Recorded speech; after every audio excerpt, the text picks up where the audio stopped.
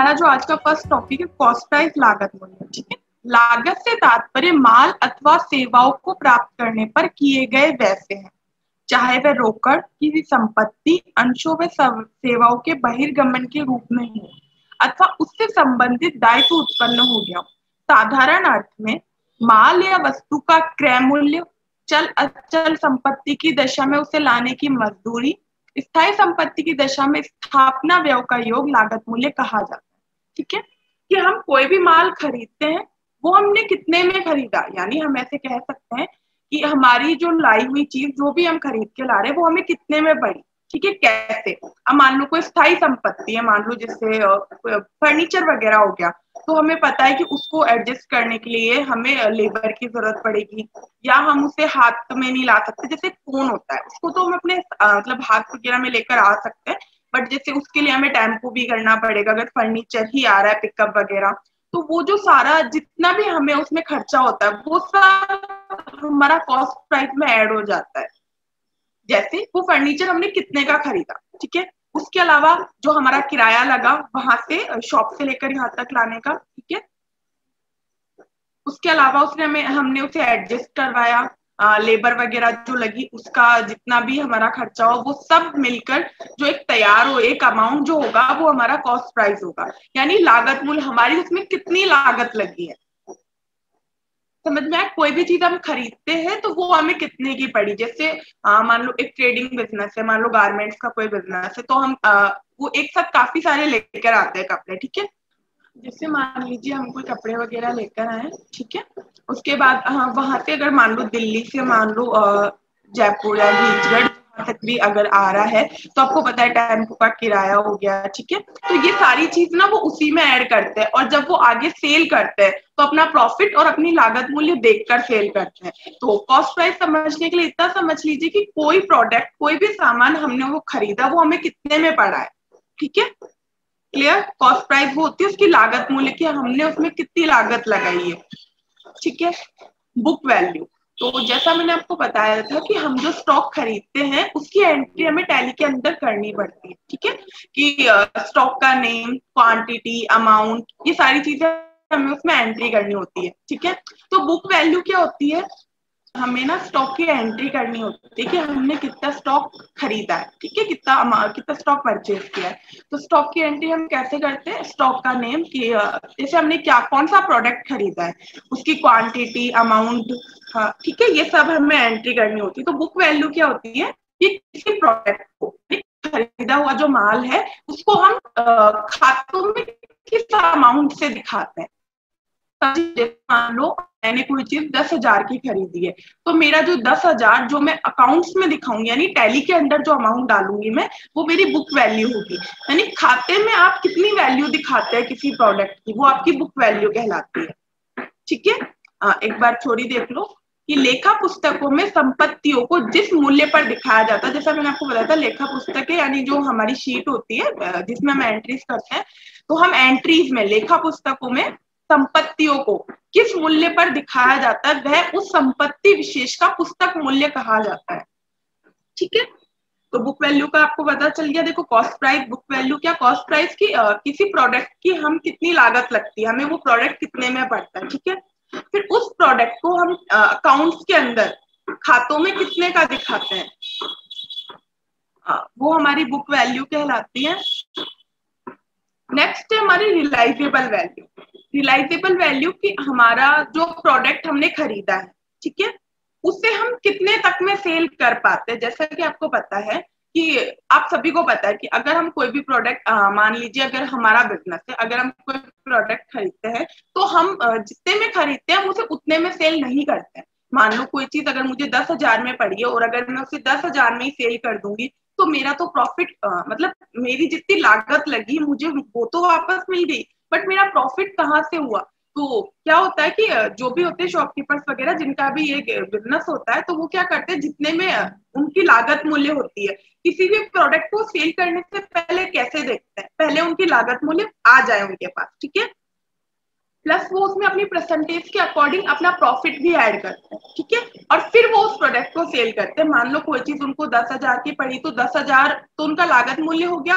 उसके अलावा मान लो उन्होंने एक हज़ार रुपए एड कर दिया ठीक है? कि हाँ एक हज़ार रुपए हमारा प्रॉफिट है। तो वो प्रोडक्ट जब एक हज़ार में सॉरी ग्यारह हज़ार में सेल होगा, तब उनको एक हज़ार का प्रॉफिट मिलेगा। किसी भी संपत्ति को बाज़ार में बेचने से प्राप्त होने वाली राशि वसूली मूल्य कही जाती है। किसी भी अगर संपत्ति है हमारी, उसको हम बाज़ार में जो बेचते हैं, यानी सेल करते हैं, उससे जो हमें पैसा प्राप्त होता है, जो वसूली मूल्य कहलाता है मतलब रिलाइजेबल वैल्यू ठीक है?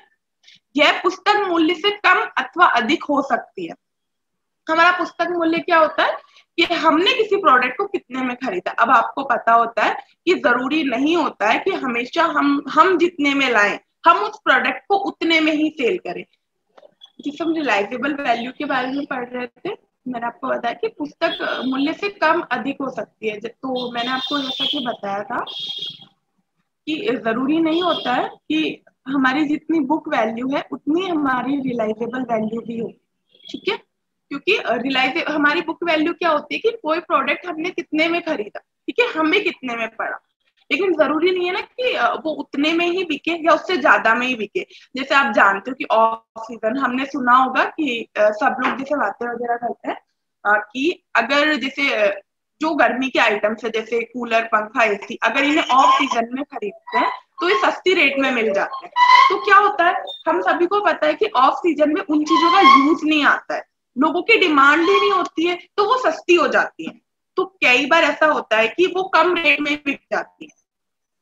तो वो होता है कि रिलाइजेबल वैल्यू बुक वैल्यू से कई बार कम भी होती है और ज़्यादा भी जैसे शादियों का सीज़न होता है। उस टाइम पे कपड़े या कपड़े या हर चीज़ की शॉपिंग होती है बहुत ज़्यादा होती है। ठीक है? दिवाली के नज़दीक होती है जैसे त्योहारों के आसपास होती है। तो ये होता है कि किसी टाइम बुक वैल्यू से ज़्यादा में बिकती है तो किसी टाइम कम में बिकता है। अगर दस हज़ार का कोई प्रोडक्ट है, उसको हम पाँच हज़ार में बेच रहे इसका मतलब कि हमें हमारा कॉस्ट प्राइस भी नहीं मिला है। कॉस्ट प्राइस से भी कम रेट में अगर हम किसी प्रोडक्ट को सेल कर रहे हैं तो हमारा क्या वो लॉस हो जाता है? और अगर उससे ज़्यादा में तो हमारा कॉस्ट प्राइस तो आ ही रहा है। उसके अलावा चार पाँच हज़ार का जो हमें प्रॉफिट हो रहा है, वो हमारा प्रॉफिट होगा, ठीक है? क्लियर है cost price book value realisable value next जो टॉपिक है, हमारा वो इनकम एक्सपेंस का, इसको पहले देख लीजिए। इनकम और एक्सपेंस। आप सभी जानते हैं क्या होती है आय व्यय, यानी हमारी कहाँ से तो पैसे आ रहे हैं और कहाँ का खर्च हो रहा है, वो चीज़ होती है। ठीक है तो इनकम के बारे में देख लेते हैं। ये व्यवसाय क्रियाओं के कारण नकदी का अंतर प्रवाह, यानी हम जो व्यवसाय करते हैं, उसमें हमारी नकदी, यानी कैश का आना, अंतर प्रवाह हमारा इनकम कहलाती है।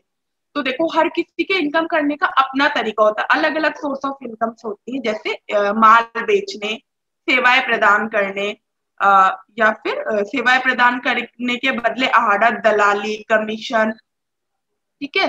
ब्याज अथवा संपत्ति के किराए के रूप में प्राप्त हो सकता है। तो आप सभी को पता है कि सबका काम करने का, आज हर किसी की अलग जॉब है, हर किसी का अपना अपना काम है। तो सबकी इनकम करने का तरीका, आय करने का तरीका अलग अलग होता है, ठीक है? तो इनकम के बारे में मैं आपको बता देती हूँ उसमें दे नहीं रखा है बट इनकम के दो टाइप होते हैं मतलब दो प्रकार की इनकम होती है। एक होती है डायरेक्ट इनकम और एक होती है इनडायरेक्ट इनकम ठीक है?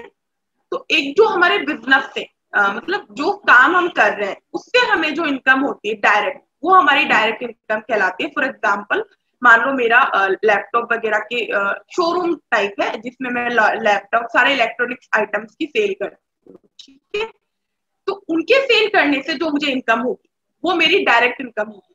उसके अलावा अदर तरीके से मेरी जो भी इनकम होती है, जैसे मैंने मेरे घर का एक पोर्शन किराए पे दे रखा है तो वो मेरा रेंट आएगा जो मेरे पास, वो मेरे लिए है तो इनकम बट वो मेरी इनडायरेक्ट इनकम कहलाएगी। मान लीजिए मैंने किसी को उधार पैसे दे रखे हैं, मेरे मेरे पास इंटरेस्ट आ रहा है तो वो भी मेरी इनकम ही कहलाएगी, लेकिन वो मेरी इनडायरेक्ट इनकम कहलाएगी।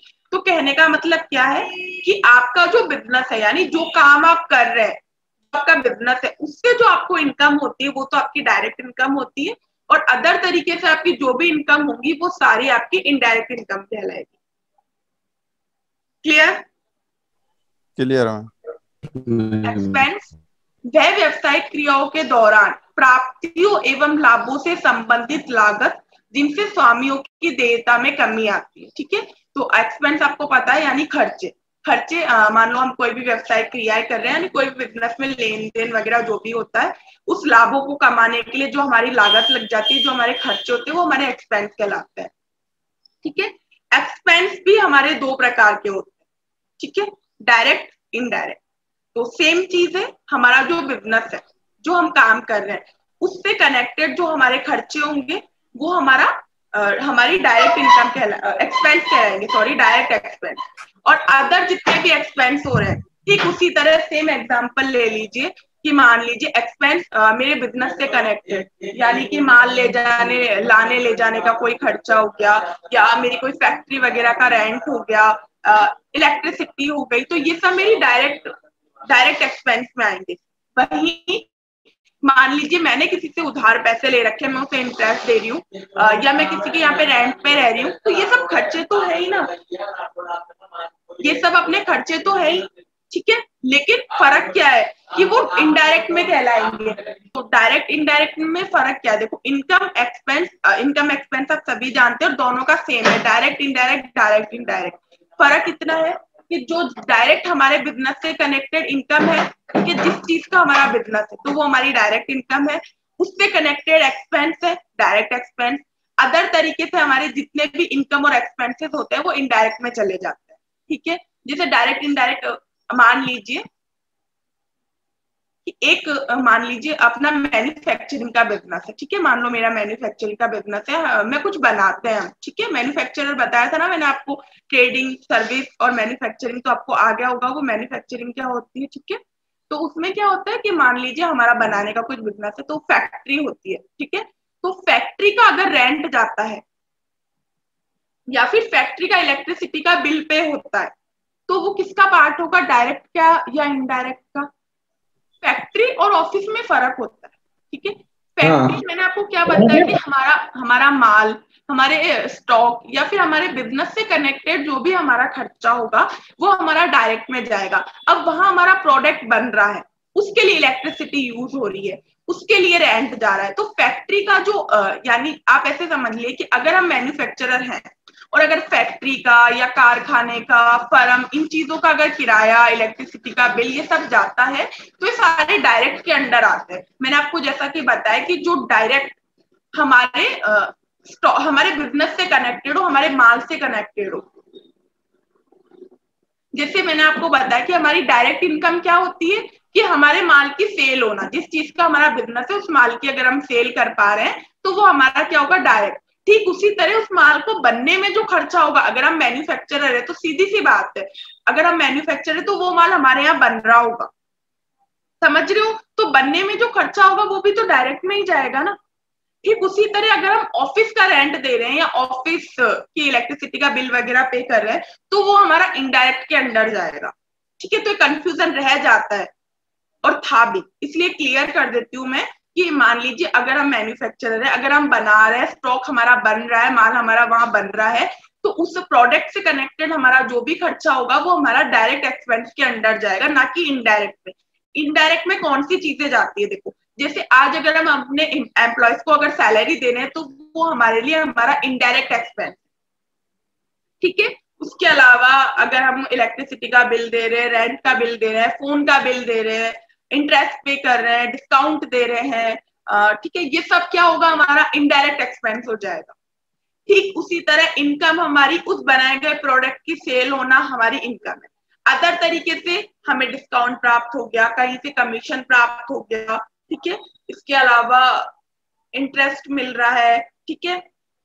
या फिर हमने कोई पोर्शन किराए वगैरह पे दे रखा है, वो प्राप्त हो रहा है तो देखो आप ऐसे समझिए कि हमारे स्टॉक हमारे माल से कनेक्टेड जो भी हमारे एक्सपेंस होंगे, वो सारे डायरेक्ट होंगे अदर एक्सपेंस तो फिर इनडायरेक्ट में जाएँगे। ठीक है? इनकम का भी सेम है, जो हमारा बिज़नेस है, उससे कनेक्टेड हमारी जो, उसके सेल से कनेक्टेड उसके सेल से जो हमारी इनकम हो रही है, वो हमारी डायरेक्ट इनकम कहलाएगी और अदर तरीके से जो इनकम हो रही है, वो इनडायरेक्ट इनकम कहलाएगी। ठीक है? बाकी जब हम एंट्रीज करेंगे तो एंट्रीज जब हमारे सामने आएँगी तो आपको फ़र्क पता चलेगा कि वो डायरेक्ट पे जाएगी या इनकम या इनडायरेक्ट में जाएगी। तो जब हम एंट्रीज करेंगे तो मैं आपको क्लियर कर दूँगी कि ये एक्सपेंस है, वो किसका पार्ट है, ठीक है? और अगर मैं नहीं कर पाऊँ तो आप मुझसे पूछ सकते हैं तो मैं आपको क्लियरली बताऊँगी कि डायरेक्ट में आएगा या इनडायरेक्ट में आएगा, ठीक है? नेक्स्ट टॉपिक है हमारा डेटर्स और क्रेडिटर का। वे व्यक्ति या संस्थाएँ जिन पर व्यवसाय की राशि बकाया हो, देनदार कहलाते हैं, ठीक है? जैसे डेटर्स के बारे में मैंने आपको जब स्टार्ट फ़र्स्ट डे था तो थोड़ा सा बताया था। तो डेटर्स हमारे क्या होते हैं? वे व्यक्ति या संस्थाएँ, यानी वे लोग या फिर वो फर्म जिनको हमने कभी पैसे उधार दिए हों, या उन्होंने कभी हमसे उधार माल खरीदा हो तो वो हमारे डेटर्स होते हैं। सॉरी लिया हो। देनदार जो हमें पैसे देंगे। देखो, देनदार, लेनदार को ऐसे देखिए, देनदार वो लोग होते हैं जिनकी तरफ़ से हमें पैसे आएँगे। यानी अगर हमने कभी उनको उधार माल दे दिया हो या उधार में पैसे दे रखे हो तो वो हमें पैसे रिटर्न करेंगे तो वो हमारे देनदार हो जाते तो डेटर्स हमारी संपत्ति कहलाती है, ध्यान रखना, ठीक है? और क्रेडिटर्स हमारे लिए हमारी लाइबिलिटीज यानी जिम्मेदारियों में काउंट होते हैं। क्रेडिटर्स वे व्यक्ति या संस्थाएँ जिन्हें व्यवसाय से कोई राशि लेनी हो। यानी वे लोग जिन्हें हमें पैसा देना हो, यानी जिनसे कभी हमने उधार माल खरीदा हो, या जिनसे कभी हमने उधार पैसा लिया हो तो वो सब हमारे क्रेडिटर्स के अंदर आते हैं। ठीक है? देनदार और लेनदार डेटर्स और क्रेडिटर देखो, इनमें क्या होता है कि देनदार कहलाते हैं। जिन व्यक्तियों या संस्थाओं को उधार माल बेचा गया हो, उन्हें व्यापारिक देनदार कहते हैं। अन्य कारणों से, जिन पक्षकारों से राशि प्राप्त करनी हो, उन्हें अन्य देनदार कहलाते हैं। वो अन्य देनदार कहते हैं। जैसे जिन व्यक्तियों और संस्थाओं को उधार माल यानी जिनके बीच में व्यापारिक ट्रांजेक्शन हुआ हो, जैसे व्यापार से व्यापार, यानी एक व्यापार से आपने माल खरीद लिया दूसरे व्यापार के लिए, ठीक है? तो वो हमारे क्या हो जाते हैं? व्यापारिक देनदार, यानी व्यापार को व्यापार से पैसे लेने हो। जैसे मान लो कि मेरा फ़ोन का एक बहुत बड़ा बिज़नेस है, ठीक है? और एक कोई फ़ोन का किसी का की छोटी शॉप है तो वो अगर मेरे से उधार माल लेकर जाते हैं, यानी फ़ोन या इलेक्ट्रॉनिक आइटम्स लेकर जाते हैं तो हमारा व्यापारिक देनदार व्यापारिक जो ट्रांजेक्शन होगा, वो कहलाएगा। व्यापारिक देनदार हो गया वो मेरे लिए, ठीक है? वही अगर उन्होंने मुझसे पर्सनली उधार पैसे लिए तो वो अन्य देनदारों में आ जाते हैं, या अगर मैंने किसी रिलेटिव वगैरह को दिए तो वो मेरे अन्य देनदार हो जाते हैं। ठीक उसी तरह क्रेडिटर्स होता है ठीक है, अन्य क्या है, व्यक्तियों तथा संस्थाओं से उधार माल खरीदा गया हो, यानी हमने, अगर मान लो किसी बड़े शोरूम से और बड़ी फैक्ट्री वगैरह से अगर हमने उधार माल खरीद लिया है तो उनसे हमारा जो ट्रांजेक्शन जो हमारे लिए वो होंगे, वो हमारे व्यापारिक देनदार कहलाएँगे। ठीक है? और अन्य कारणों से जिन पक्षकारों को राशि लेनी हो यानी अन्य रीजन से यानी किसी से उधार पैसे वगैरह ले लिए हो फैमिली में किसी से ले लिए हो रिलेटिव में किसी से ले लिए हो तो वो अन्य लेनदार कहलाते हैं। बाकी मैं जैसा कि आपको बता दूँ कि बिज़नेस से कनेक्टेड जो हमारी लेन देन होती है, हम टैली में उसी की एंट्री करें। ठीक है? हमारे पर्सनली अगर हमने किसी से पैसे लिए हो, उसकी एंट्री हमें टैली में नहीं करनी होती है। हम टैली में सिर्फ़ उन्हीं चीज़ों की एंट्री करेंगे जो हमारे बिज़नेस से कनेक्टेड होगी। यानी अगर बिज़नेस के काम के लिए अगर आप उधार पैसे ले रहे हैं तो हम उनकी एंट्री दिखाएँगे। क्योंकि उनके पैसे बिज़नेस को ही चुकाने बाकी पर्सनली अगर कंपनी का ओनर या व्यवसाय का ओनर कोई ट्रांजेक्शन करता है तो उसकी एंट्री करने की हमें ज़रूरत नहीं होती है। उस सबके लिए हमारे पास एक अकाउंट होता है ड्रॉइंग अकाउंट कि अगर वो वहाँ से पैसे लेते हैं, संपत्ति लेते हैं, माल लेते हैं तो हम ड्रॉइंग के अंडर उनको दिखा देते हैं। ठीक है? वैसे डेटर्स क्रेडिटर इनकम एक्सपेंस ये चार जो है टॉपिक्स ये बहुत बेसिक टॉपिक है और इन्हीं की एंट्रीज बार बार आती और देनदार और लेनदार, मैं आपको बता देती हूँ कि देनदार या लेनदार हमें तभी मेंशन करना होगा जब ट्रांजेक्शन उधार में हो। क्योंकि आप खुद बताइए ना कि कोई हमारा देनदार तो तब होगा ना जब वो हमसे उधार में माल लेगा। ठीक है? अगर मान लीजिए किसी ने मेरे से कैश में ही माल खरीदा है, यानी मैंने उन्हें माल दिया और उन्होंने मुझे कैश दे दिया तो देनदार वाली तो कंडीशन ही नहीं आई देनदार कौन होता है जो हमें पैसे देगा? अगर वो ऑलरेडी अपने सामान के बदले हमें पेमेंट कर चुके हैं तो देनदार वाली तो चीज़ ही नहीं हुई। ठीक उसी तरह क्रेडिटर वाली चीज़ होती है कि मान लीजिए लेनदार अगर हम किसी से लेंगे उधार में माल खरीदेंगे या उधार में कैश खरीदेंगे तभी तो हम किसी तभी तो हम किसी को देंगे वो हमसे तभी तो मांगेगा। अगर मान लीजिए हमने सामने वाले से माल खरीदा और उसके बदले में हमें उन्हें हमने उन्हें कैश दे दिया ठीक है? तो हमारा ट्रांजेक्शन तो वही खत्म हो गया ना। हमारे पास गुड्स आया उसके बदले में उनके पास कैश चले गया। तो मैं आपको बता देती हूँ कि डेटर्स क्रेडिटर वाली कंडीशन तभी आती है जब ट्रांजेक्शन उधार में हुआ हो। अगर वही ट्रांजेक्शन नकद में होता है तो डेटर्स क्रेडिटर नहीं होता है, आपको डायरेक्ट कैश में एंट्री करनी होती है। डेटर्स क्रेडिटर क्लियर है, और एक चीज़ और डेटर्स क्रेडिटर के बारे में मैं आपको बता देती हूँ कि एक चीज़ तो मैंने आपको अभी बताई है कि उधार वाला। दूसरा, अगर यही ट्रांजेक्शन कैश में होता है तो हम कैसे करते हैं? जैसे मैं आपको समझा देती हूँ कि आप खुद देखिए, हम डिटेल्स अगर हम किसी से उधार माल खरीदते हैं, किसी को उधार माल बेचते हैं तो हम उसी की जो डिटेल्स रखते हैं ना तो जब हम अगर कैश में ट्रांजेक्शन करेंगे तो हम कैसे एंट्री करेंगे? माल आया और कैश में एंट्री होगी यानी आपको ये दिखाने की ज़रूरत नहीं होती है कि आपने किससे माल खरीदा या आपने किसको माल बेचा। अगर आपका ट्रांजेक्शन कैश में हुआ है तो। ये चीज़ आपको तभी दिखानी होती है जब आपका ट्रांजेक्शन उधार में हुआ। और सीधी सी बात है, अगर ट्रांजेक्शन उधार में हुआ है तो आपको व्यक्ति की डिटेल्स दिखानी होती है। और जब हम व्यक्ति की डिटेल्स दिखाते हैं, मान लीजिए मैं ऐसे एक एंट्री बोल देती हूँ कि मैंने राम से उधार माल खरीदा ठीक है? अब मैंने राम से उधार माल खरीद लिया तो राम मेरा कौन? क्रेडिटर हो गया ठीक है? तो अब इस कंडीशन में क्या होता है? हमें राम की डिटेल्स मुझे राम की डिटेल्स तो रखनी पड़ेगी ना कि मैंने उनको आ, मैंने उनको उधार मैंने उनसे उधार में माल खरीदा है ठीक है? तो खरीदने की एंट्री हम करते हैं जैसे purchase account debit to Ram account ठीक है? एंट्रीज आपको आगे मैं समझाऊँगी तब आएगी। तो अभी मैं आपको ये बता रही हूँ कि हमें व्यक्ति की डिटेल मेंशन करनी होती है। वही अगर मैंने ये एंट्री कैश में की होती, यानी मैंने कैश में माल खरीदा होता तो मैं एक एंट्री करती purchase account debit to cash account कि मेरे पास माल आया है परचेज अकाउंट मैंने माल खरीद लिया और टू कैश अकाउंट मैंने कैश दे दिया। वही अब एंट्री है कि purchase account debit to Ram account की मैंने राम से माल खरीदा है। जब नेक्स्ट जब मैं उनको रिटर्न की एंट्री करूँगी तो जो क्रेडिट पक्ष है, यानी राम अकाउंट उसको मैं डेबिट कर दूँगी। एंट्रीज करेंगे आगे और अच्छे से क्लियर में समझ में आ जाएगा ठीक है? तो इनकम एक्सपेंस डेबिटर क्रेडिटर किसी का कोई डाउट है? कोई क्वेश्चन है? नो मैम ठीक है तो मैं पूछती हूँ। मान लीजिए मैंने दस हज़ार का माल एक्सपेंस एक्सपेंसेस का बता दो। एक्सपेंसेस के बारे में क्या बताना है? बताइए।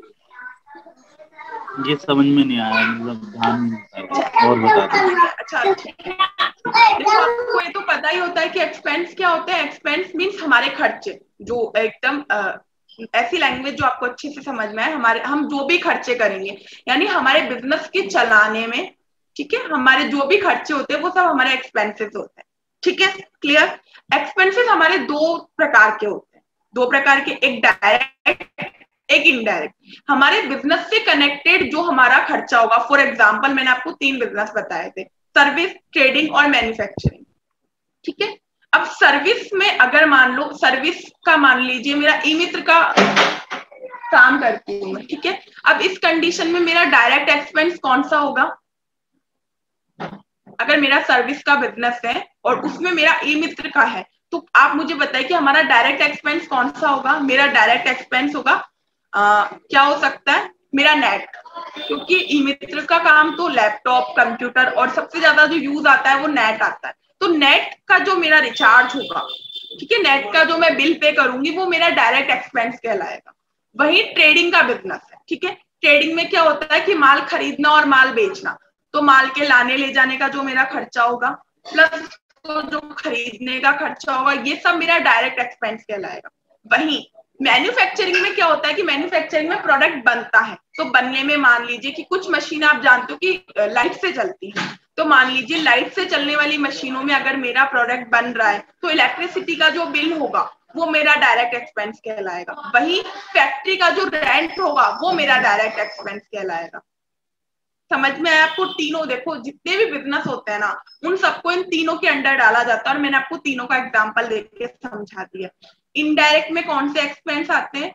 कि आपका जो काम है, उसको छोड़ के, जैसे मान लीजिए सर्विस सर्विस में मेरा, मैंने आपको बताया कि मान लीजिए मेरा ई मित्र का है तो नेट का मैंने आपको बता दिया। अब इनडायरेक्ट में क्या हो सकता है? इनडायरेक्ट में जैसे, जहाँ मैं बैठी हूँ, ठीक है? वहाँ का मुझे उस ऑफ़िस का बिल पे करना हो। उसके अलावा अदर मेरा को अदर कोई भी खाने पीने का कैंपर वगैरह का खर्चा हो गया आने जाने का जो खर्चा हो गया ये सारे किसमें आते हैं? ये सारे मेरे इनडायरेक्ट एक्सपेंस में आते हैं। वही ट्रेडिंग में, मान लीजिए, आपका कोई ऑफ़िस है, ठीक है? या आपके अंडर दो चार लोग काम कर रहे हैं तो उनकी सैलरी हो गई है एम्प्लॉयज़ की जो सैलरी है, आपके ऑफ़िस का रेंट है, आपके ऑफ़िस का बिल वगैरह है तो ये सब इनडायरेक्ट में आते हैं। मैन्युफैक्चरिंग में भी मान लीजिए, आपकी एक फैक्ट्री है तो फैक्ट्री में तो ओनर बैठते नहीं है ना, उनका कोई ऑफ़िस होता है तो सेम चीज़ ऑफ़िस का जो भी एम्प्लॉयज़ की सैलरी या लेबर की जो आपकी सैलरी वगैरह होगी ये सब आपके इनडायरेक्ट के अंदर आती है। एम्प्लॉयज़ की होती है सब इनडायरेक्ट के अंदर आती है। क्लियर है? यस yes, मैम बाकी जब हम अकाउंट्स जैसे जब एंट्रीज आती हैं तो एंट्रीज में आपको लेजर क्रिएट करने होते हैं। तो जब लेजर आएँगे कि एक इलेक्ट्रिसिटी का बिल आ गया या फिर एक किसी और का आ गया तो आपको ये भी बताया जाएगा कि आपको कहाँ का बिल पे करना है। तो जैसे जैसे क्वेश्चन आते हैं तो और चीज़ें क्लियर होती जाती है। अभी हमने सिर्फ़ टॉपिक पढ़े जब हम थोड़ा प्रैक्टिकली एंट्रीज करेंगे तो आपको और अच्छे से क्लियर हो जाएगी ये चीज़। ठीक है? अब मेरे क्वेश्चन का आंसर दे दीजिए। कि मान लीजिए, मैंने दस हज़ार का माल राम को उधार बेचा ठीक है? तो राम मेरे लिए क्या है? मेरे कहने का मतलब है दस हज़ार का माल मैंने राम को उधार बेचा। तो राम मेरे लिए क्या है? मेरा डेटर्स या क्रेडिट डेटर अच्छा ठीक है। कैसे?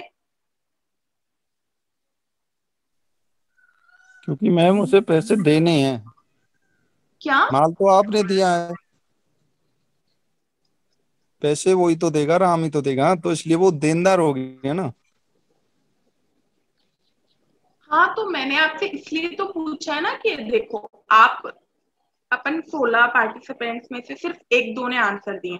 तो बाकी के माइंड में, बाकी जो है, उनके माइंड में क्वेश्चन आ सकता है ना कि क्यों आपने ये आंसर दिया? इसलिए मैंने आपसे पूछा था क्यों? ताकि बाकियों को क्लियर हो जाए कि ये जो आंसर है वो क्यों है उसका, क्योंकि हर आंसर के पीछे एक रीजन होता है ना। आज आपने बोला, ठीक है, कि ना, आपके लिए वो डेटर्स होगा। तो उसका रीजन क्या है? क्योंकि हमने उन्हें उधार माल बेचा है और अब वो हमें वापस, हमें कैश देंगे तो जो हमें पैसे देंगे, वो हमारे लिए हमारे डेटर्स हो जाएँगे।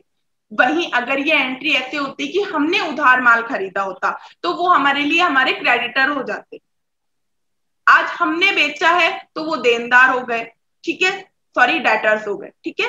और आज अगर हम खरीद लेते तो वो क्रेडिटर हो जाते और हम उनके लिए डेटर्स हो जाते। तो डेटर्स क्रेडिटर देखो, वैसे तो बहुत छोटे टॉपिक्स है बट इनमें कंफ्यूजन बहुत ज़्यादा रहता है। ये टाइम के साथ, जैसे आज मैं आपको बता रही हूँ बट मुझे भी बहुत बार कंफ्यूजन हो जाता है। बाकी जैसे जैसे हम एंट्रीज करते हैं तो एंट्रीज हमें आराम से समझ में आ जाती है, हम एंट्रीज कर लेते हैं। बट थोड़ी प्रैक्टिस के बाद डेटर्स क्रेडिटर वाला कंफ्यूजन भी खत्म हो जाएगा। ठीक है? और किसी का कोई डाउट है तो आप पूछ लीजिए। क्योंकि अब लास्ट के पाँच सात मिनट हम क्वेश्चनिंग के लिए ही रखेंगे। तो कोई भी डाउट है तो आप पूछ लीजिए income expend debtor creditor cost price book value वगैरह में किसी में भी? मैम कैश में एंट्री तभी होगी ना जब यानी कि नकद राशि होगी। हाँ कैश में एंट्री हमें तब करनी है जब या तो पैसा आया हो या पैसा गया हो। यानी अगर हमने माल खरीदा हो इट मीन्स कैश गया या हमने माल बेचा हो कैश आया हो। ठीक है डेटर्स क्रेडिटर तब शो करते हैं जब उधार में ट्रांजेक्शन हुआ हो चाहे वो आपने माल बेचा हो या आपने माल खरीदा हो। लेनदार है देनदार का नाम नीचे यानी कि क्रेडिटर हाँ हाँ वही है। लेनदार देनदार चीज़ हमें डेटर्स क्रेडिटर हमें तभी शो करने होते हैं जब ट्रांजेक्शन उधार में हुआ हो। जैसा कि मैंने आपको समझाया है कि व्यक्ति की डिटेल्स हम तभी तो रखते हैं आज एक शॉप होती है ठीक है? मान लीजिए जनरल स्टोर होते हैं कितने लोग आते जाते हैं दिन में? सबकी डिटेल्स वो मेंशन करते हैं नहीं। वो अपने बही खाते में उन्हीं लोगों का नाम लिखते हैं जो उनसे उधार जैसे आप जानते हो कि कुछ लोग उधार में ट्रांजेक्शन उधार खाते चलते हैं लोगों के ठीक है? Yes, तो उन्हीं के नाम तो लिखते हैं ना उन्हीं के तो प्रोडक्ट लिखते हैं जो उनसे उधार लेके जाते हैं। Okay all clear ma'am book value क्या होती है कि जैसा मैंने आपको बताया था कि हम किसी स्टॉक को खातों में कितने का दिखाते हैं। जैसे जब हम एंट्रीज करेंगे तो जैसा मैंने आपको बताया कि टैली के अंदर हम स्टॉक भी मेंटेन करते हैं। तो मान लीजिए मान लो कि कोई कॉस्मेटिक आइटम है, जैसे मान लो कोई कुछ भी हो सकता है, जैसे लोशन वगैरह तो अगर हम उसकी एंट्री करेंगे तो सबसे पहले हम उसका नाम लिखेंगे। जैसे पॉन्ड्स ठीक है? उसके बाद हमने वो कितना खरीदा, ठीक है? क्वांटिटी मान लीजिए दस दस बॉटल खरीदी है ठीक है? दस उसके अलावा एक कितने का है?